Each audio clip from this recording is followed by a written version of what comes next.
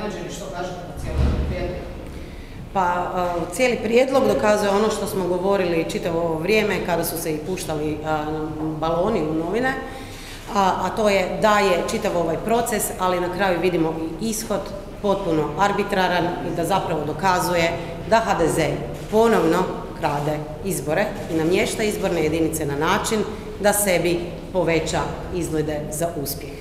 To je apsolutno neprihvatljivo i sa stajališta Ustava i sa stajališta odluke Ustavnog suda kojim je ukinut zakon o izbornim jedinicama, gdje je Ustavni sud upravo rekao da čista matematička podudarnost broja birača po pojedinim izbornim jedinicama nije dovoljna i sama po sebi ne dokazuje dakle da se ispoštovalo načelo jednakosti glasa, ali i povjerenja građana u izborni sustav. Ustavni sud je dapače rekao i naveo primjer da kada bi postojale izborne jedinice gdje bi primjerice neko sa kontinentalnog dijela Hrvatske glasao sa, ne, sa nekime, sa nekog otoka, da bi to zapravo pokazivalo da se radi o a, izbornim jedinicama koje a, a, kao posljedicu imaju gubitak povjerenja građana u izborni sustav jer se vidi da su one zapravo frankenštajnski namještene. Do sada mi smo imali tri izborne jedinice koje su pratile ono što je Ustavni sud rekao kao kriterij i načelo, a to je da se prati zemljopisna kartografija, odnosno granice županija. Do sada smo imali tri takve, to su bila četvrta, peta i treća izborna jedinica.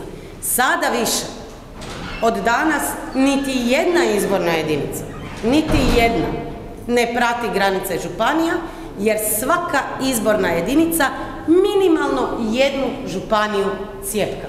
Pa smo tako vidjeli da primjerice je Koprivnica u jednoj izbornoj jedinici, Križevci su u drugoj.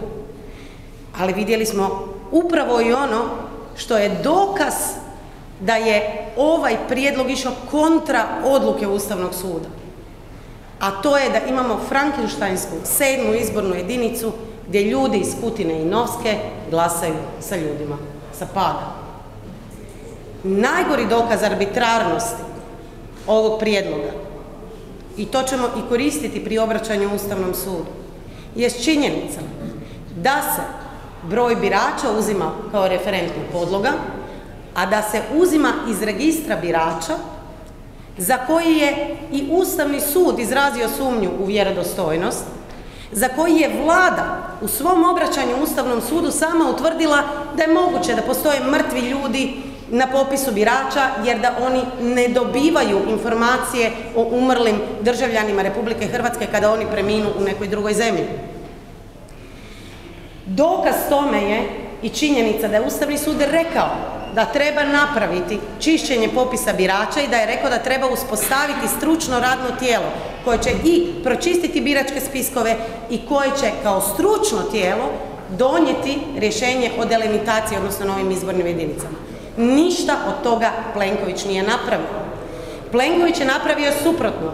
Dao je svom kuhinskom kabinetu Šeksu, Šeksu Resleru, Aničiću i navodno ministru pravosuđa da naprave prijedlog koji je prvo predstavljen na predsjedništvu HDZ-a, onda je predstavljen koalicijskim partnerima, a sad će ići u e-savjetovanje bez da je ikada iskomuniciran sa opozicijom. Napravio je prijedlog koji niti jedna stručna radna skupina nije vidjela, jer je nije bilo. Nije bilo jer niti jedan stručnjak vam to ne bi potpisao. Napravio je prijedlog koji apsolutno dokazuje da je od početka do kraja zamislio proces na način da pogoduje politički njemu na sljedećim izborima, a to je i rekao. A to je rekao kad je javno izjavio da je namjerno išao u to da ostaje 10 izbornih jedinica sa 14 mandata, dakle istim brojem mandata, jer je to politička odluka.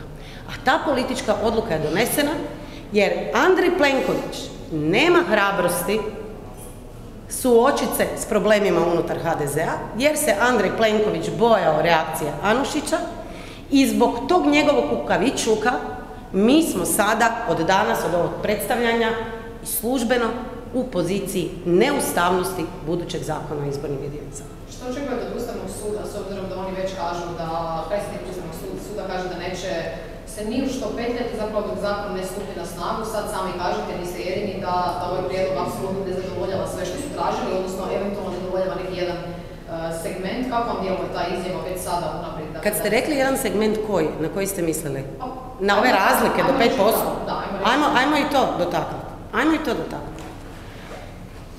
Kada je Andrej Plenković sada ovaj, vrtio slajdove i govorio o tome da su razlike između izbornih jedinica maksimalno do plus minus, da pače manje od 2%. Koje izborne jedinice sa kojom je uspoređivao? Uspoređivao je, uzeo je prosjek. A to nije način na koji se to radi. Ustavni sud je u svojoj odluci pokazao kako se to radi kad je uspoređivao svaku izbornu jedinicu sa svakom izbornom jedinicom. Ajmo vidjeti to. Je li između svih izbornih jedinica upravo ta razlika? A i ako je, i taj matematički kriterij nije dovoljan ako nisu zadovoljeni drugi uvjeti koje je Ustavni sud rekao, a nisu zadovoljeni. Ustavni sud, po meni, ovdje treba reagirati sa mišljenjem na način na koji je reagirao 2013. godine povodom referenduma o braku, o definiciji braka. Jer ako Ustavni sud sada ne reagira i donese se zakon koji je protuustavan i koji će ići u konačnici na ocjenu ustavnosti, dovodimo se svi zajedno u poziciju da Ustavni sud možda neće donijeti odluku do izbora. Da ćemo možda ići na izbore po neustavnom zakonu. A šta će biti kad se utvrdi da je neustavan u budućnosti? Hoće li se poništavati rezultati izbora? Hoće li se Plenković dovesti u situaciju da mu se dižu izborne tužbe i da se poništavaju nakon 30 godina, što smo donekle mislili da smo konsolidirali demokraciju, dovešćemo se u stanje banana država u kojima se poništavaju izbori. Jel to Andrej Plenković hoće? Ranije ste najavili pokretanje referenduma, ako... Mi smo najavili, rekli smo da je to ultra vires, dakle da je to krajnja, ono, ultima ratio, da je to krajnja mjera, da je to ono što, ćemo na, što se treba napraviti, da je to jedini način da se spriječi neustavnost. Postoje puno koraka prije toga koje vidite da radimo. Prvi je, sad je javna rasprava. Organizirat ćemo se, organizirat ćemo građane da reagiraju kroz e-savjetovanje. Organizirat ćemo se i kao opozicija da što jače urgiramo dakle, na ovaj prijedlog zakona i pokušamo spriječiti da se on kao takav usvoji. Tražit ćemo od Ustavnog suda da da mišljenje je li ovakvim prijedlogom zaista ispoštovani su svi oni kriteriji koji su rečeni u samoj odluci Ustavnog suda. Ako se izglasa, tražit ćemo ocjenu ustavnosti Ustavnog suda. Ali pazite, ako sve institucije zaista zakažu, to je ono što sam tada rekla, jedino građani to mogu ispraviti. Ili imamo protuustavnu situaciju i imamo situaciju izbora koji su de facto nepošteni i koji su nelegalni. Ja zaista ne želim da Hrvatska dođe u tu situaciju. Zbog svih nas koji 30 godina kao građani ove zemlje gradimo i želimo graditi konsolidiranu demokraciju. Ne želimo da u ovom trenutku, nakon 30 godina, kad i jesmo zemlja članica Europske unije, pozicionirali smo se međunarodno, da dođemo u situaciju u kojoj izbori nisu fer i pošteni. Da dođemo u situaciju da nas se stavlja u koš sa Poljskom i Mađarskom. Ne želimo to.